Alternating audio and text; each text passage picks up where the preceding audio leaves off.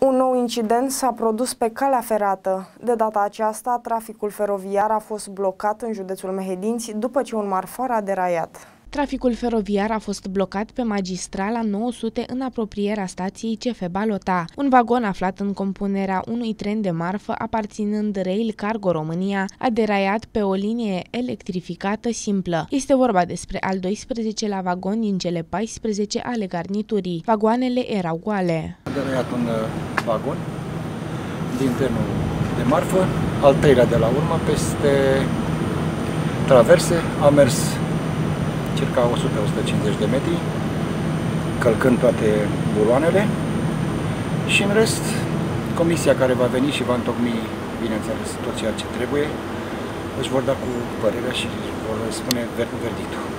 Cauza, cu siguranță, părerea mea ca șef de tren, cauza, părerea mea am spus, să nu, nu vreau să încriminez pe nimeni sau să scap pe cineva sau să, să dau vina pe cineva, cauză le, linii.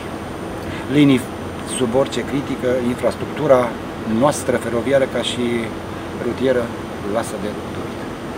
Păi de rău, dar asta ne merităm dacă, ne merităm dacă nu se intervine și nu se alocă. S-au întâmplat atâtea evenimente. Atâtea evenimente, bine că totuși a fost vagon de marfă. În tot acest timp, trenul de călători IR-72 București-Timișoara a staționat în stația CF Balota. Călătorii aflați în tren au fost preluați cu autocare până în stația CF Orșova, de unde își vor continua călătoria. Trenul va avea o întârziere de 6 ore. Personalul de intervenție al Regio CF Craiova s-a deplasat la fața locului pentru a interveni în zona afectată de Ieraieré.